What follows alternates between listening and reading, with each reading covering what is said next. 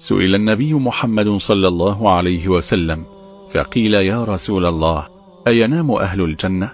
فقال صلى الله عليه وسلم لا ينامون لأن النوم أخو الموت وأهل الجنة لا ينامون ولا يموتون. والجنة ليس فيها مرض ولا هرم ولا هموم ولا غموم ولا أحزان ولا بول ولا غائط ولا روائح كريهة وليس للنساء حيض ولا نفاس ولا غل ولا حقد ولا حسد. إذ ينزع الغل من صدور المؤمنين قبل أن يدخلوا الجنة. يوقفون على قنطرة بعد أن يتجاوزوا الصراط ويقتصون فيما بينهم المظالم التي كانت بينهم في الدنيا. ثم ينزع الغل من صدورهم فيدخلون الجنة بفضل الله على غاية الصفاء.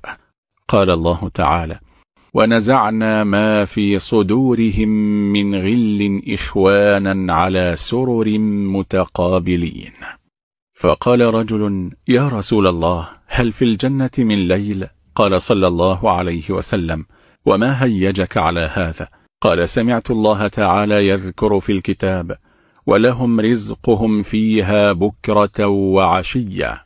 فقال رسول الله صلى الله عليه وسلم ليس هناك ليل إنما هو ضوء ونور يرد الغدو على الرواح والرواح على الغدو وتأتيهم طرف الهدايا من الله تعالى لمواقيت الصلاة التي كانوا يصلون فيها في الدنيا وتسلم عليهم الملائكة أو كما قال صلى الله عليه وسلم.